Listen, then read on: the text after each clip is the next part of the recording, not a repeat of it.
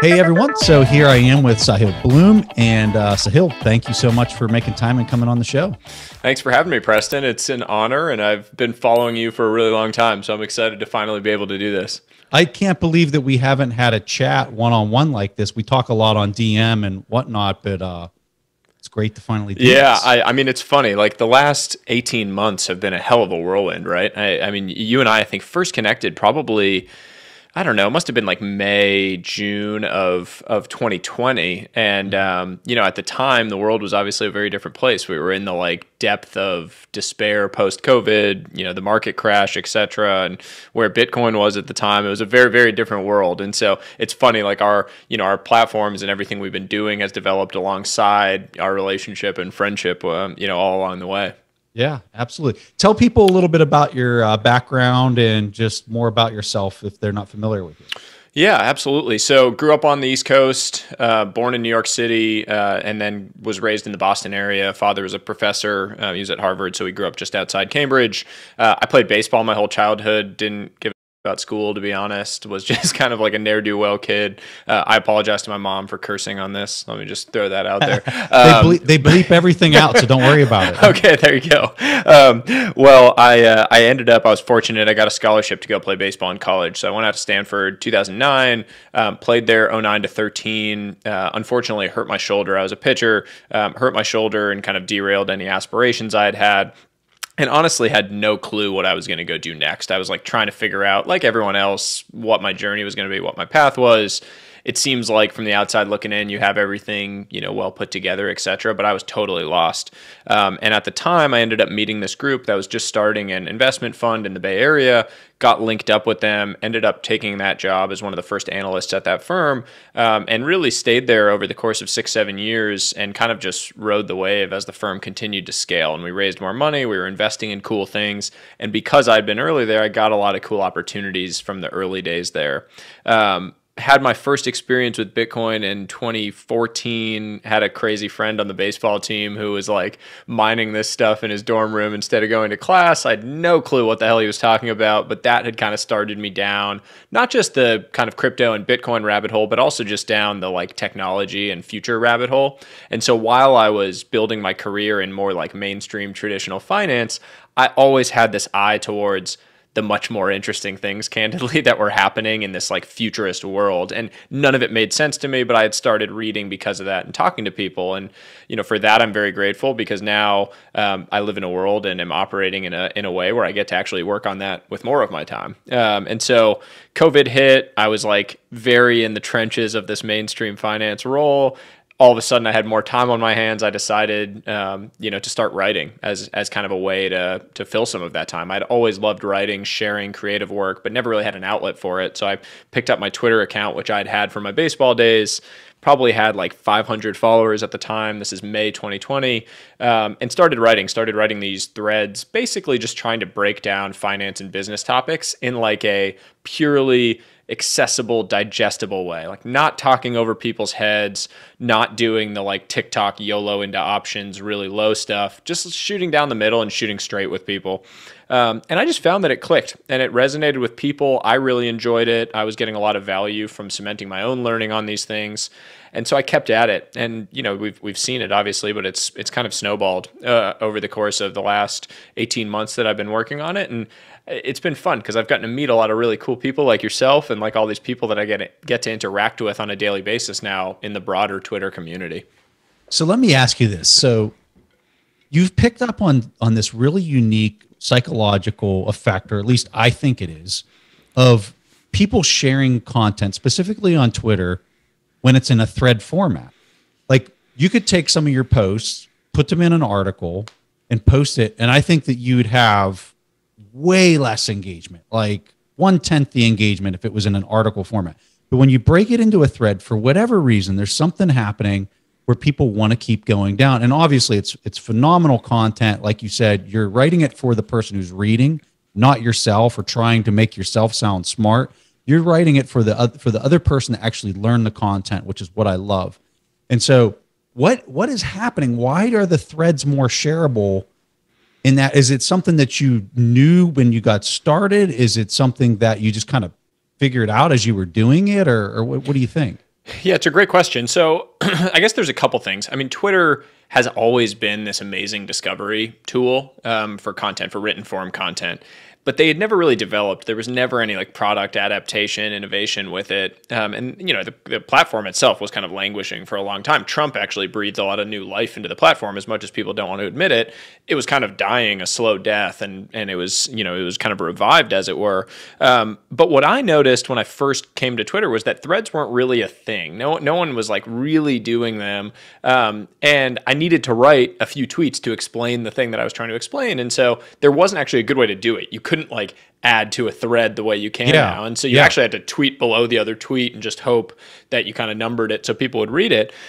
but the reality for for Twitter was I think they very quickly realized that threads were a great way to keep people on the platform. So rather than just having the like single piece news bite, long form content all of a sudden on Twitter, it was like a blog in Twitter form. And what, what I did was you know, I admired all these writers like Ben Thompson, these technology writers, Benedict Evans, all these guys that they have these repositories of content and then they were able to link back to prior things that they'd written to kind of like establish foundations.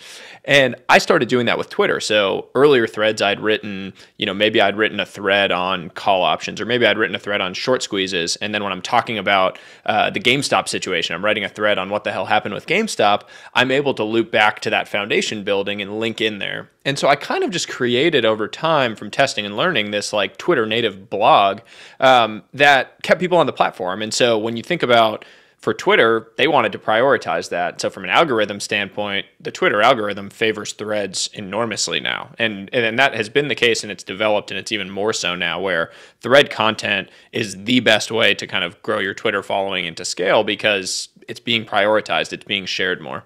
I never thought of it from the Twitter prioritizing it. I was going about it from just this vantage point of, you know, maybe people read the first tweet and the buy in there is so minimal for them to just scroll lower. And then they're like, okay, I'm kind of into this. But if yeah. I click on an article from Bloomberg or whatever it might be, I'm making a commitment of like two to five minutes. And I'm saying, ah, you know what? I'm not going to read that. I'm just yeah. going to skip over there's also just the traditional media thing where I don't know. I think people at some point were just fed up um, with all of traditional media and left or right wing, wherever oh, totally. it stood. It was yeah. just like a lot of this is garbage. It's clickbait headlines that have nothing to do with the actual uh, with the actual content. And so part of me thinks that like decentralized media and Twitter was a cool place for people to escape, and so it became more shareable because people just liked that. But to your point if you look at my tweets and my threads, you'll notice common, um, you know, common features there where like everything is very spaced out. I use a lot of hard enters. It, I try to make it a very like optically readable. engaging experience yeah, and readable yeah, yeah, rather than just being blocks of text. Because personally like when i see blocks of text now my my attention span and society's attention span has gone like this over the last you know 10 15 years as content has gotten more bite-sized. And so i tried to play into that. And then basically i was like okay well you still need a place to expand on these things. I'm going to have a newsletter and kind of use that to expand on the ideas but twitter will be where i keep it really really short punchy and more viral yeah, no, I, I love it. And it's so readable. It's fun to kind of go through it. Um, you can come back to it. You can bookmark it. I don't know. There's just something about it that just works so much better than some of the longer form. I, I think it's an amazing platform for learning. I mean, I've yeah. learned more from being on Twitter and engaging with your content with people in the, you know, whether it's in crypto, web three, all of these communities, I've learned more on Twitter than I have from like any book, class, anything I could possibly I do. And so it's like Twitter's become the new university in a in a weird way. And I know that's become sort of a meme and people talk about it, but there is some truth to it and they're starting to play more into that. Um, and so it'll be interesting to see where it ends up, you know, two, three, three, four years from now. It forces people to get to the point. Like yep. if you can't describe it in that, like sure you can go deeper, right? But like a reply or if I have a question, like if I can't get it into that, well then yeah. it's just too long of a question in the first place. It's like I agree. It's also an idea meritocracy, which just on the surface is such an awesome thing. Like I don't need a fancy credential. I don't need a, you know, Ivy League degree. I don't need Amen. any of these things to grow. Like you can, you know, a, a, kid on the street in India has just as good of an opportunity to go and create and build an audience and scale um, as, you know, some kid who grew up in, you know, Westchester and is like you know getting all the country clubs and whatnot. Yeah. Um, and that's a cool thing. Uh, you know, when you live in a world where technology is actually enabling um, more of a meritocracy and more of a even opportunity playing field, I'm all for unequal outcomes. I always say this: love un- unequal outcomes. Like I'm a capitalist, I'm a free market guy. Uh, unequal outcomes, totally with it. But unequal opportunity, not with that. And so I think, you know, if we can figure out ways to even the opportunity playing field, you're always going to have unequal outcomes because that's how markets work. Some people are going to rise, some people won't. But we need everyone to have the same basic opportunity level along the way. Yeah. Love it. So you get into uh, you're you're in the hedge fund space or you're in the the uh, fund space, and um, you have an interest in money, economics. Talk about like what got you interested in that particular space. Um, if you can talk about some of the the types of things that you were doing deals with. Yeah. Something like that. Yeah, so I mean, I'd grown up in a household that was not at all associated with finance. It was associated with economics. So my dad was an economist, um, and so I'd been around concepts of money and, and and economics, but more in a theoretical sense than in an actual sense. My dad was never in. I don't even know if my dad owns a stock. You know, to this day, like I, it's just it was never a thing in my household. We I grew up in a financial household, and um, I went to Stanford, had no idea about it because I was playing baseball. I was like kind of dicking around, trying to figure out if I could go play professionally. And then um, I started this job, had absolutely no idea what in you know it was a private equity fund had no clue what private equity was. I had you know read the like barbarians at the gate bad scary things about private equity.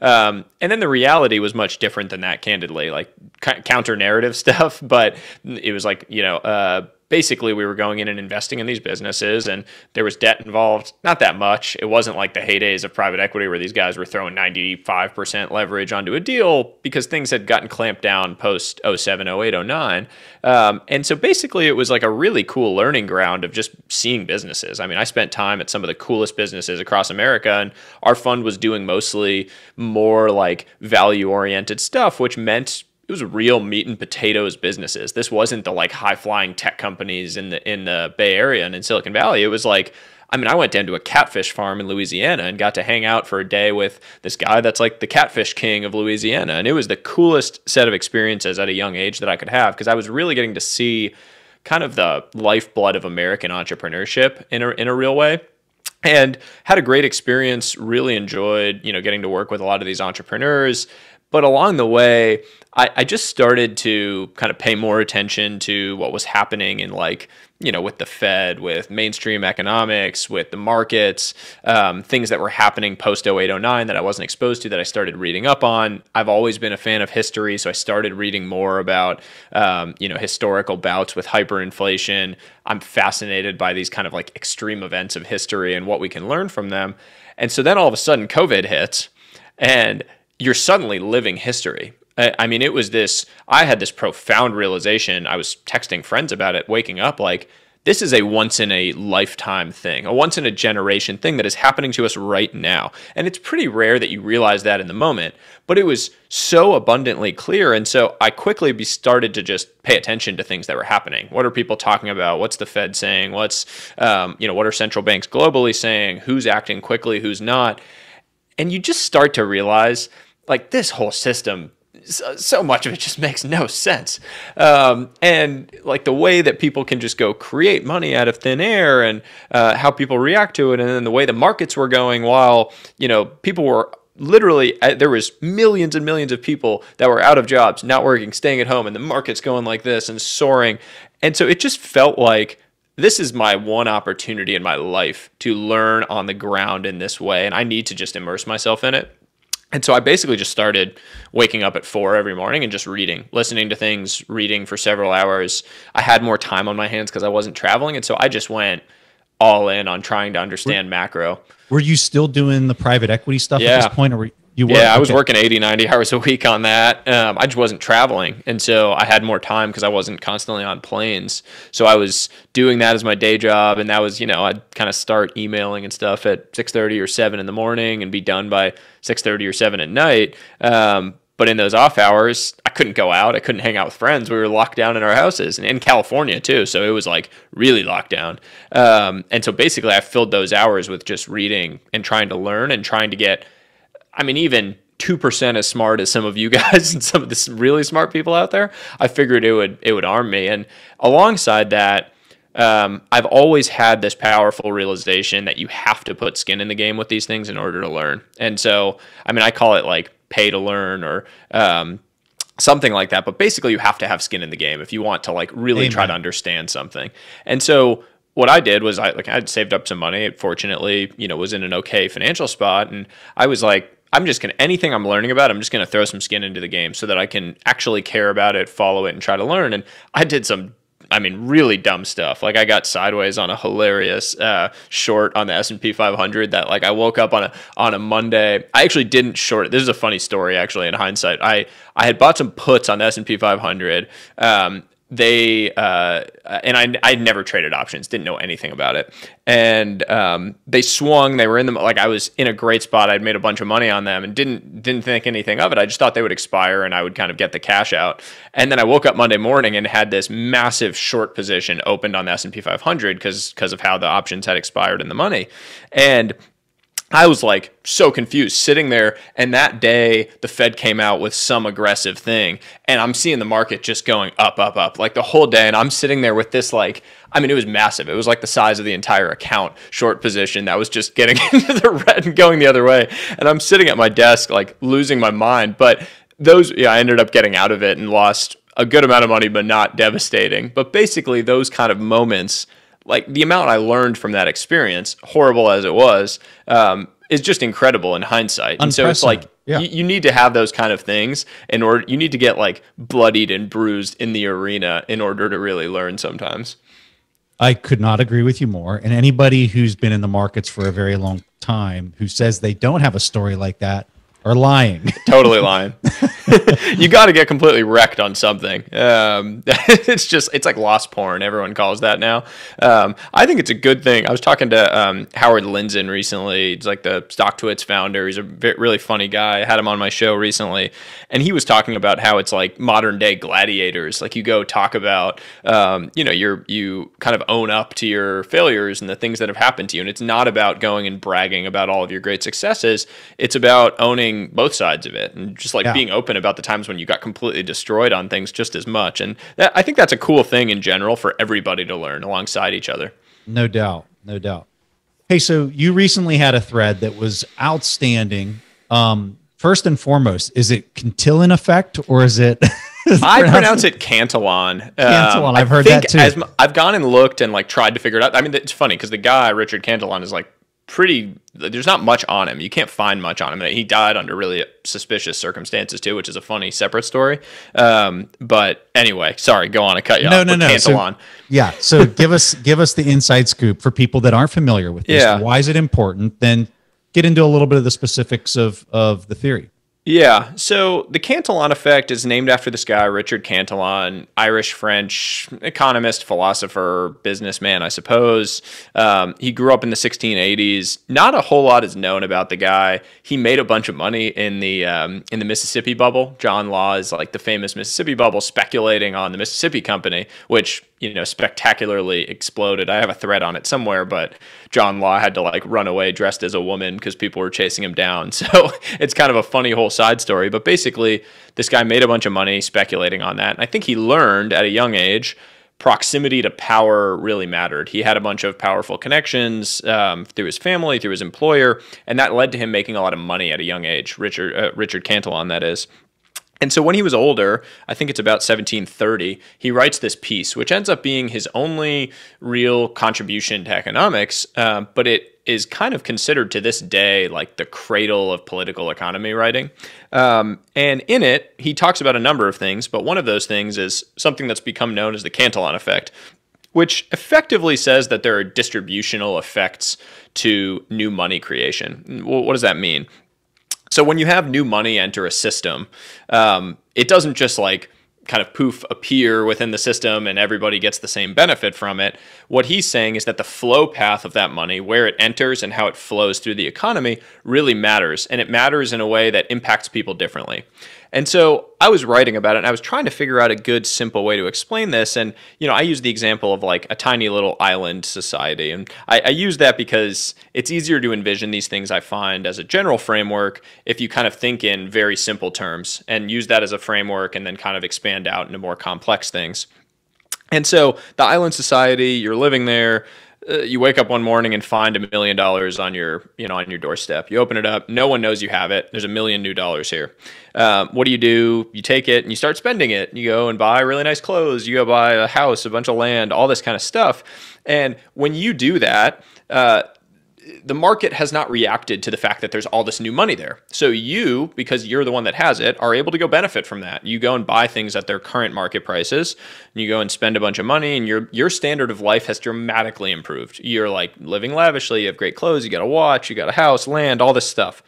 But then suddenly, the people who you distributed that money to, but with your purchases, don't quite have the same experience. Now, the sellers of those goods, the workers that produce the goods that you bought, are now in an environment where prices start to rise because suddenly there's an awareness that there's more money in the system. So demand has surged, supply has yet to catch up, and prices start to rise as a result of that.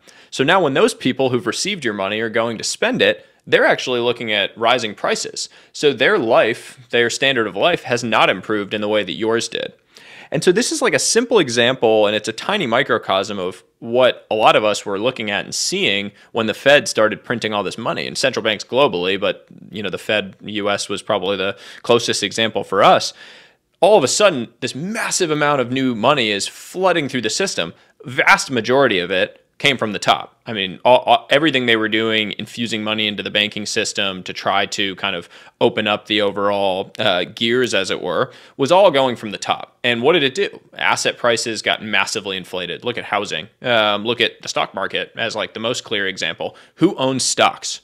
It's rich people. It's the wealthy. Who who has the vast majority of their net worth tied up in in these assets in real estate and stocks? It's the wealthy.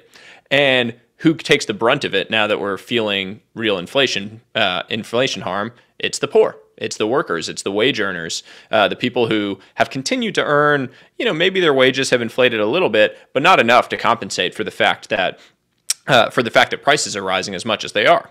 And so when I looked at it, eh, I mean, I originally looked at it back in kind of mid 2020 when we first started to see it. You were seeing rich people and the share of wealth increasing dramatically um, as this was all happening. And then you were seeing poor people kind of getting screwed over, frankly. Um, and it was all a result of the system. And, you know, the Fed, they tried to do certain things, right? Like they had the the fiscal response with the stimulus checks and they were trying to do things that supported people on the bottom and they actually did an okay job of getting some of those things out there to where I think most people you know there weren't people starving in the streets in the US at least I hope um, but there were these massive distributional effects where the rich got richer. And if you were a wage earner, too bad. You were like, you missed out on what was probably the largest transfer, you know, the largest wealth creation event of our lifetimes if you were a if you were an asset owner. And so that's kind of the general story around the Cantillon effect. And I think it's a fascinating macro topic because it relates to so many of these different things. I'm always looking for connection points and it's a macro story and it relates to the Fed, it relates to money creation, it relates to all this policy, but it also relates to crypto, it relates to Bitcoin. You know, a lot of people look at it and say, well, Bitcoin is fixed. There's 21 million Bitcoin. It's deflationary naturally. Um, and that's a big thing and it's a big topic of discussion. And I personally just think it's something worthy of discussion. It doesn't need to be political. People should not want massive distributional effects to money creation. It shouldn't be a thing that we seek. And so we should talk about it and look at it. So, as a person out of private equity, I'm sure you have friends in venture capital. Do you think that uh, this effect of like how all this additional fiat units are being added into the system and being in PE, being venture capital, I mean, they're seeing a, a huge amount of, of the first cut of how that capital is going to be or how that fiat's going to be allocated into the system. How do you see that impacting uh, really kind of the, the Bitcoin and digital asset space? Because it almost seems like a lot of, especially in the VC side, they're just trying to get the money out the door because you as, as, you're well versed on general partner fees versus limited partner fees and how that whole system works if they've got a fund that's a hundred million dollar fund and whether the, they raise the hundred million or not, they're collecting fees on the hundred million and um, they want to get the money out the door so that it looks like they're doing something. So how much of the of the space is being warped from how it's, you know, like actually being allocated to productive projects versus just getting it out the door to suck fees? There is no doubt that capital is unbelievably abundant right now. I mean, the common narrative within the VC landscape has just been that capital is a commodity at this point. And so VCs are actually scrambling to figure out how they differentiate because everyone has money. And so if you're a company, you can raise money from literally anywhere. And so it's actually being more selective and figuring out who you're going to take the money from. Um, does it create distortions? Absolutely. I, I, mean, the pricing on VCs are complaining about it, I'm sure, but the pricing on a seed deal, um, you know, pre seed deal used to be like five, six million dollars, post money valuation you're lucky if you can find a seed deal under like 20 million, a hot seed deal under 2025. And so there's clear pricing distortions happening. We see it across the market. I mean, PE multiples in the stock market, uh, within private equity, multiples have continued to rise because people are raising and have all this capital. Plus, rates are I mean, nothing. manipulated super low, right? right? Like I can go borrow money at basically nothing. I don't know what you can go get a mortgage at today, but it's insane. And rates are artificially low because the government's been manipulating them. They're not free floating. They're not market determined. Um, and that all creates distortions because what it leads to broadly is people having to move out the risk spectrum to find yield. And so when your risk free rates are basically zero, I think Chamath wrote a great thread on this. I wrote a thread on it at one point. Basically, you just have to go chasing yield. And so you go further and further out the risk spectrum to find it.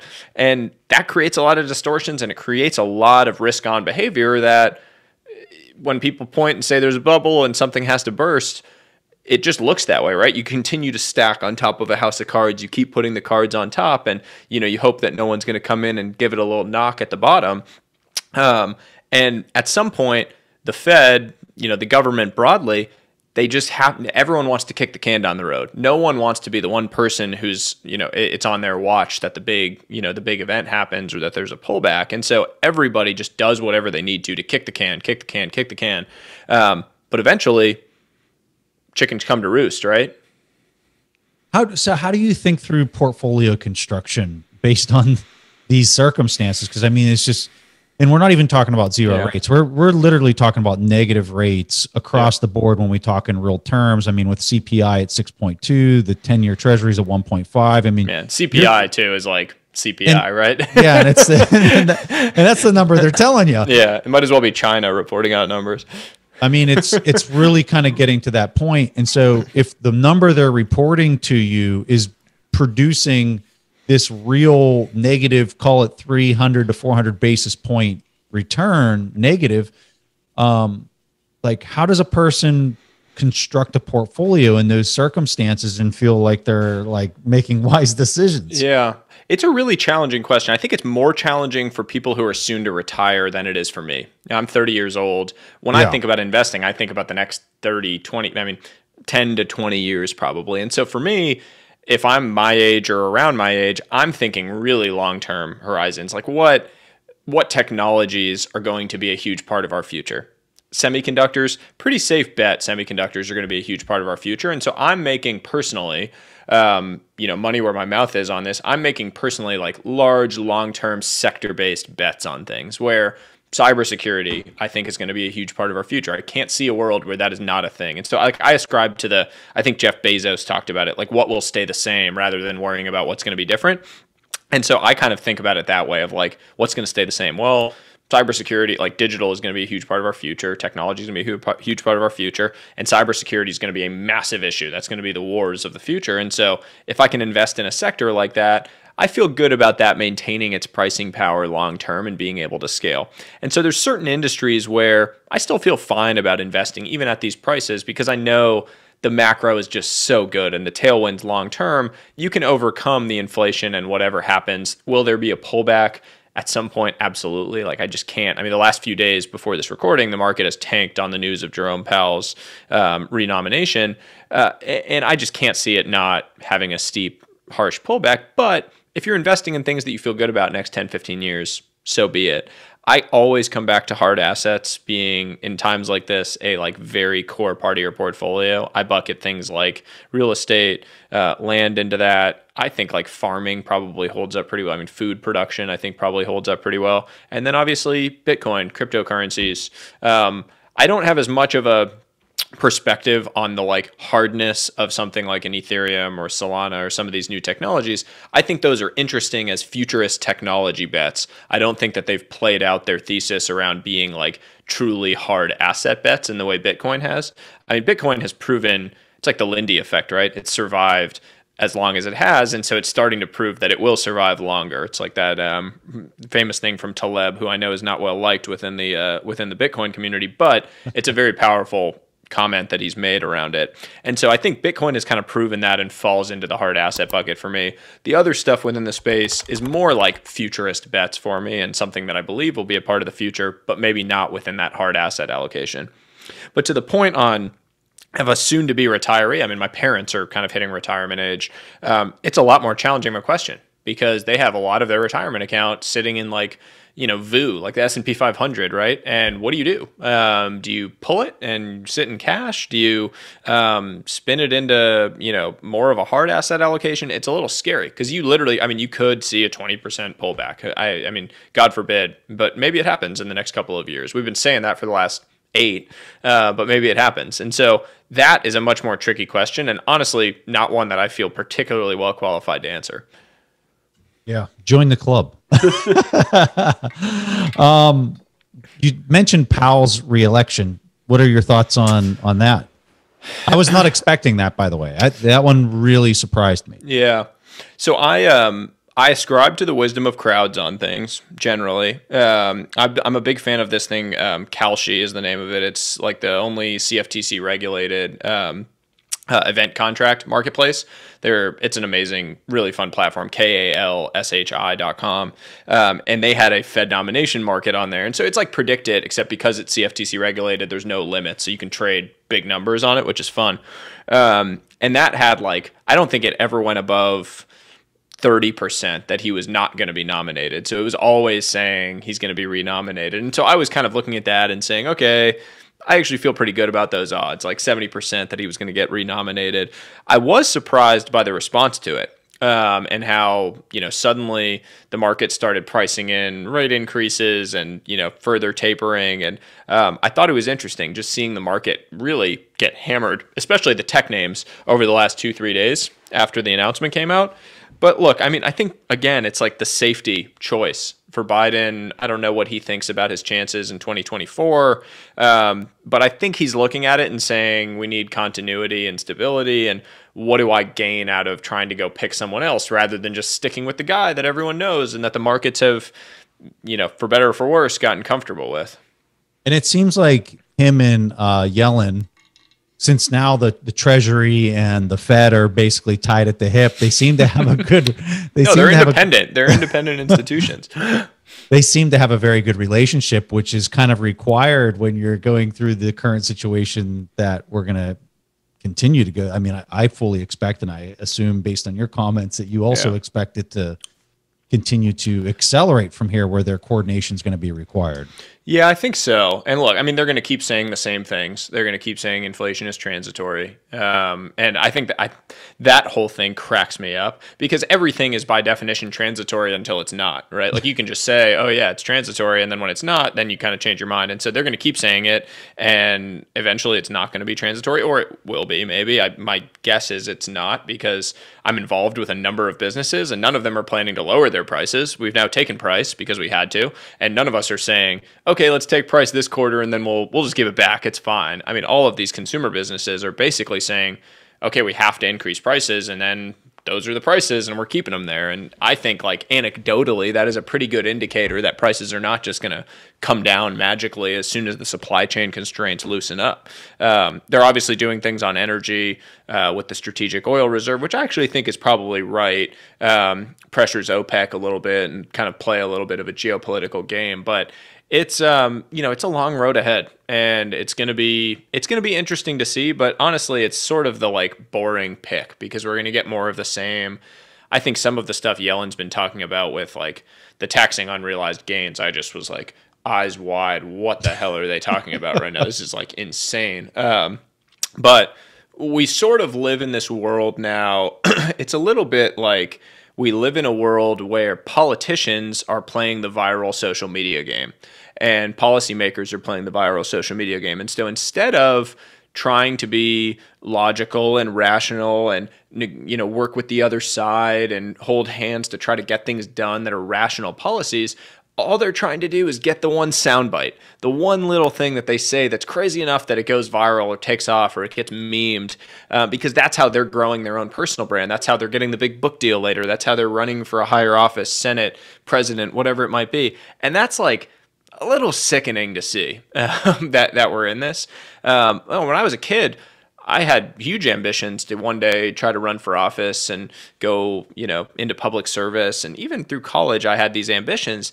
Um, and I think that a lot of young people now look at public service and look at going to Washington as just an ineffective way to actually create change and create value relative to the other options they have and that's sad. Um, and it's it's a big change that's happened over the course of my life, and I, and I I think it's unfortunate, and I think it leads to this slow, vicious cycle of lower talent ending up in Washington. Not a lot of young people. We're just going to have older and older people going to Washington, making decisions that are kind of dated, not grounded in the future and what it looks like, um, and it's upsetting. And so I, I think we I do think we're in for a real reset and need a real reset as it comes to policy, term limits, campaign finance reform, all of these things that I think could start to wedge into it if we want to end up in a better country, you know, for our kids than what we're in today.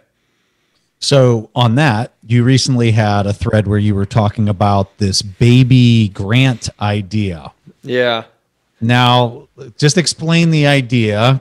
Um, and I, I I, I asked this question with a little bit of hesitation because I, th- I think you know why. Is it was here we are talking about how we've got all these policies and we're printing all this money and it's not money that we actually have. It's all debt and yeah, like the last thing we need is more policies. But lay it on us. Let's hear. Yeah. let's hear what you got. well, this was my fun foray into talking about policy on Twitter and and getting called a socialist, which I am so far from. So it was pretty funny for me to for me to hear it. Um, you know, I'm a I'm a pretty moderate guy overall, and definitely a free market guy. So it was it was definitely a step in a in a funny direction for me. But basically. I've seen people talk about this in principle before, and I was trying to lay out a few kind of concrete thoughts around it. Uh, but the idea is um, every baby that's born in the U.S. And take the U.S. as just like an example of doing this. You um, create a create and fund a ten thousand uh, investment account for them, and that is funded by the government.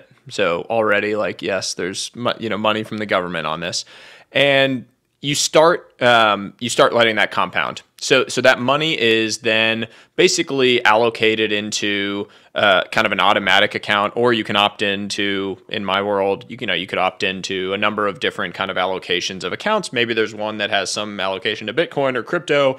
Um, but generally speaking, it's something that's exposed to markets, it's assets, um, so that everyone can really participate in asset appreciation.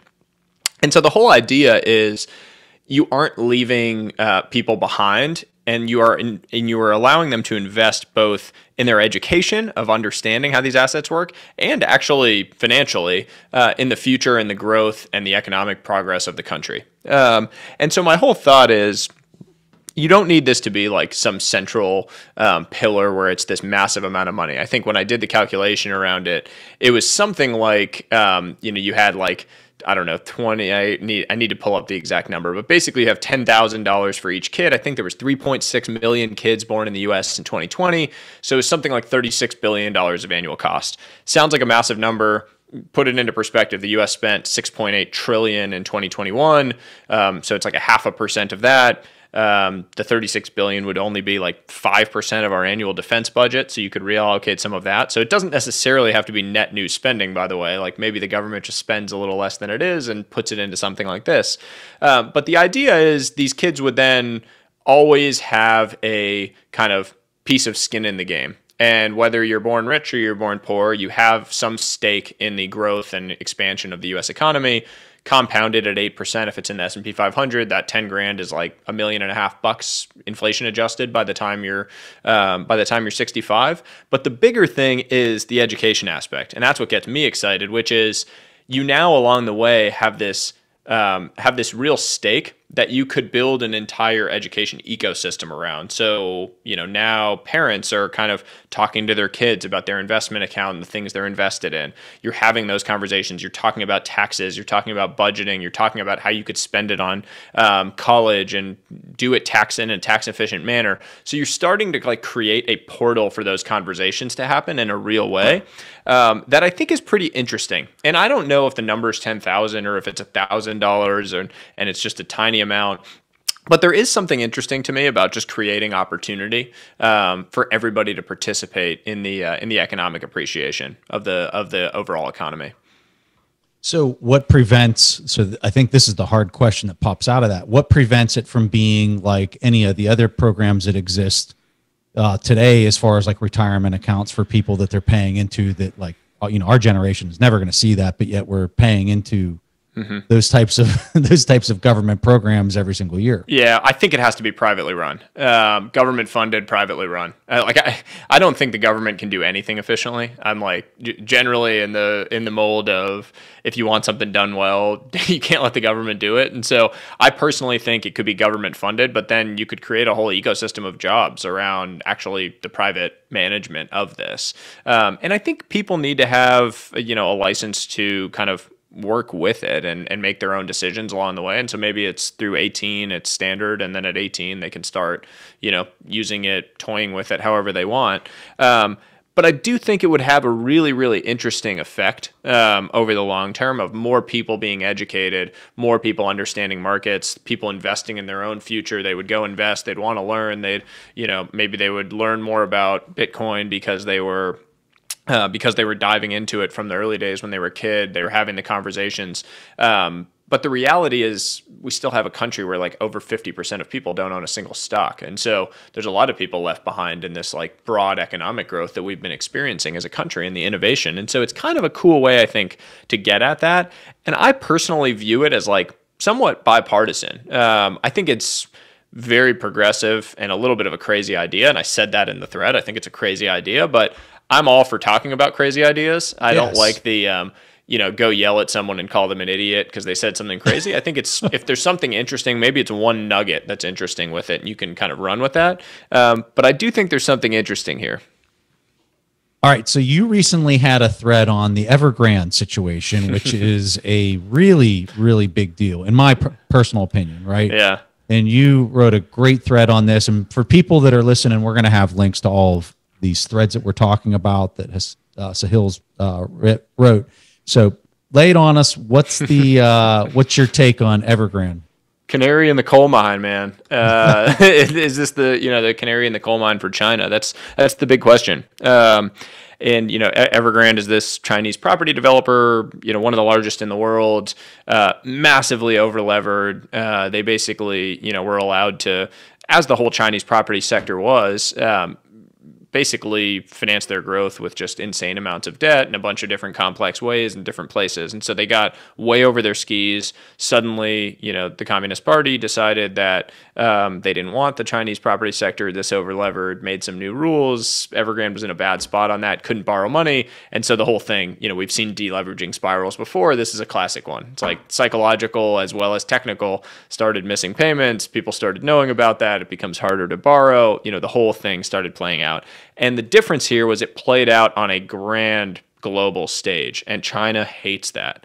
And so suddenly you have this embarrassing thing happening. Um, how are they going to handle it? And was it going to be, you know, one chip that fell that created financial contagion, not just in China, but globally? Um, and you know, it's been sort of quiet since the initial stuff that happened. I think it was like, you know, early October, kind of late September that it became really big news. And then it went quiet and people are kind of lulled to sleep around the whole thing.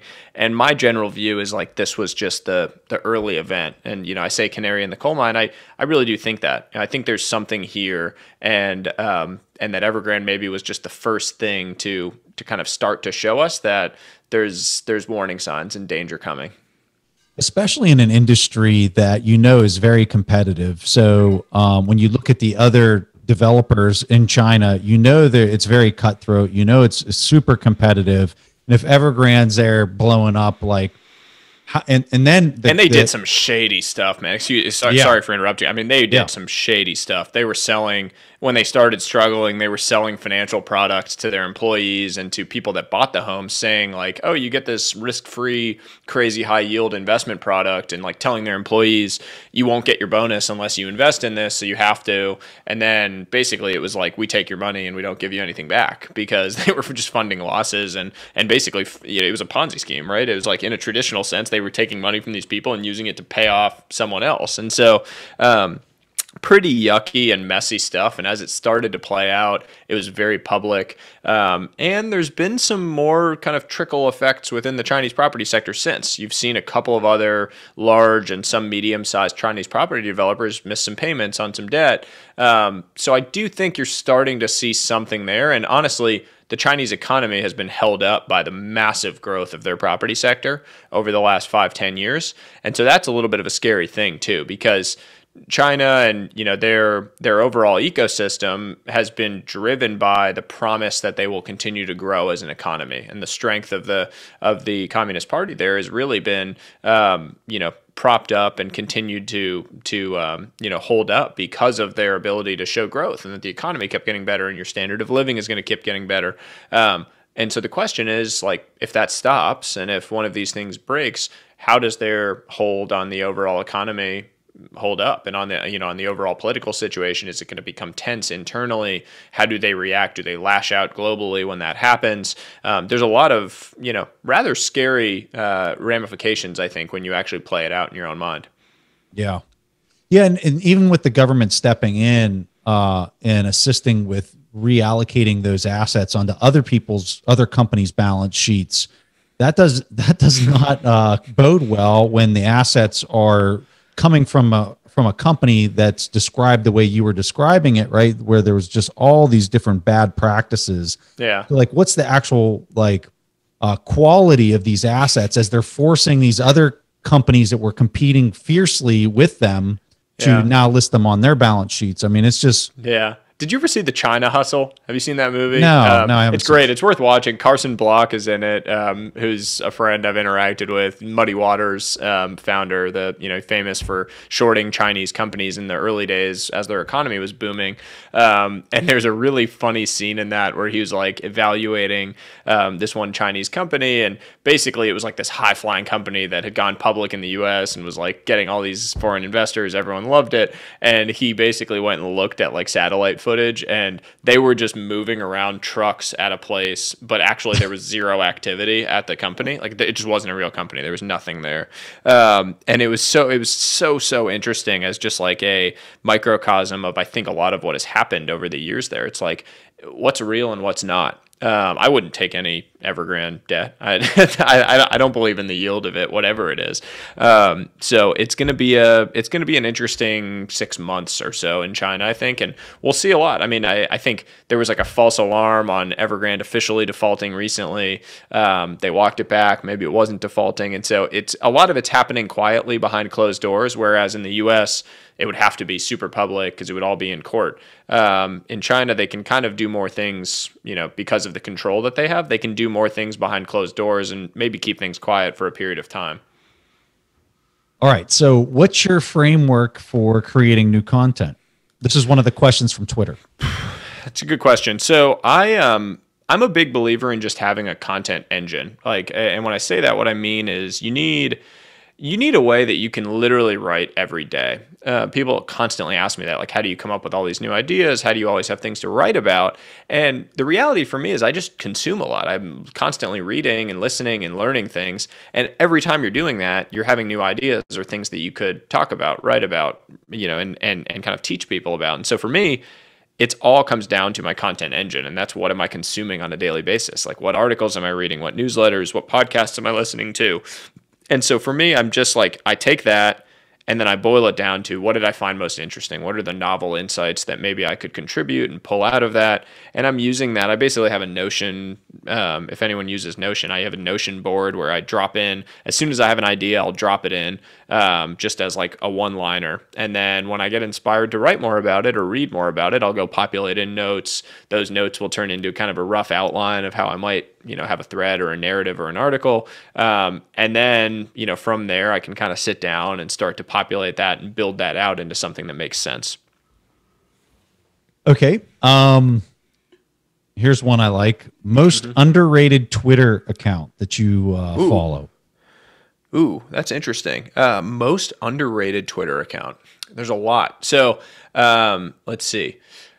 Uh, okay, so a couple that you know I've really enjoyed recently that I think are just like generally underfollowed. Um, there is a uh, woman who's a, a friend of mine who's writing a lot about like Web3 and crypto. Um, her name is uh, Magdalena Kala. I think her uh, handle is at Magdalena Kala. Um, it's like mags.eth is her actual name, and it's a Bored Ape is her picture. Um, she's been awesome and just like doing a lot of cool educational stuff around um, around Web3 that I've learned a lot from you, personally. What do you think about Web3? I'm curious what you think about it. I'm really bullish on the long term um, technologies that are being developed. I think 90% of it is probably fake, you know, Fugazi explodes and like with a lot of innovation, like in, you know, the dot com bust.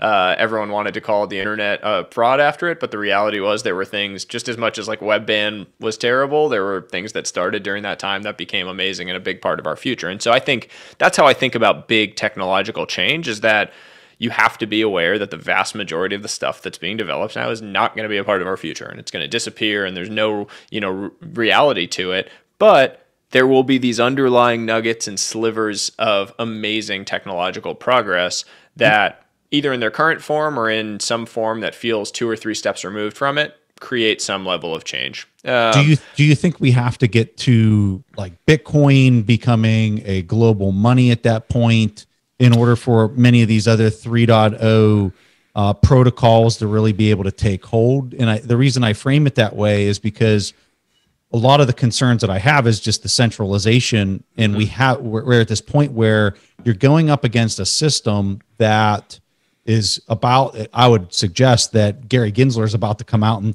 declare everything a security, and if it's yeah. being listed on an exchange, like you're about to get wrecked if you're if you're holding something that uh, is not decentralized, like yeah. truly decentralized, right? So, um, how do you think that the timing of all that kind of plays yeah. out? No, I think you're. I think you're right. A lot of these things look like securities, right? And so it's like the duck test. Like if it if it looks like a duck and it quacks like a duck, it's probably a duck. And so I, th- I do think a lot of these things, you know, DAOs and the token, like tokenized communities, all this stuff feels like a security. Um, and so if it feels like a security, the government is going to find a way to regulate it and say that it's a security. So I do. I mean, I do think that's a major risk and something that people are going to have to navigate around. I, I think that like when you think about what the future around this looks like, it, to me, it's much more about the talent flow than anything else. I just there are so many smart people that I think extremely highly of, technical people, builders, etc., that are flocking to this. And I personally am just like a big believer in follow the talent. Um, I don't believe quite as much in follow the money because I think money lies a lot of the time. But when really smart people and some people that I consider some of my smartest friends are like dedicating their lives to something that's 10 plus years, 15 years out in their view, um, that's exciting to me. And I, I generally, as a rule of thumb, just choose to not ignore it. Um, I'm not like deeply, deeply invested in any of this stuff today relative to my broader portfolio. But do I want a couple call options on it? Sure, absolutely. Yeah. Any other people that you want to highlight? Let's see who else has jumped out to me recently. Um, there have been a few that I feel like I've come across that have been really cool. Um, so Ana Fabrega um, on like uh, education, um, future of education, ed tech stuff is amazing. She's incredible. Does a lot of cool video stuff that's been really cool. Wes Ko um, is another one within education that's been really fun to follow along with. Um, and then just like a bunch of these entrepreneurs that I follow that are just building really cool shit. Um, Josh Fabian is this friend of mine, founder of this business Metafy, that's about to announce a fundraise from some pretty big people. He's like just this absolute force of nature. Uh, one of the coolest backstories was like adopted, just this amazing, gritty experience of grinding through really, really tough times to get to where he is. And honestly, when I sit down with him and have dinner with him, I just want to go run through a brick wall after because he's so freaking powerful. Um, but people like that, I just really, I get a lot out of being around and following these people and just learning from them along the way. Your best book in the last year? Ooh. Um, so I reread When Breath Becomes Air once a year. Um, and that's one of my absolute favorites. There, there, there are kind of two or three books I reread once a year, so I'll name them all. When that's Breath the second Air, time I've heard that book recommendation this week, huh? And I've never read it. When you got to read it. Yeah, it was that was probably the most life changing book for me.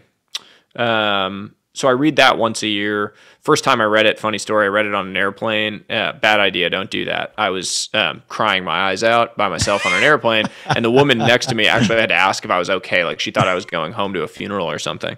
Um, it's very, very powerful. It's a Stanford um, Stanford brain uh, or neurosurgeon who's finishing his residency is about to like experience what he's prepared for his entire life to become a, a neurosurgeon, and finds out he has terminal uh, lung cancer uh, right oh, as he's getting married and he writes it in the it's a true story and he writes it in the last year of his life before he passes away. It's like wow. how do you rationalize when your whole life has been building to this one moment? How do you come to terms with um, the inevitability of your death? And it's so so powerful and just like deeply deeply moving. And also it just has this clarifying effect for your own life when you think about it. And so i try to read that once a year.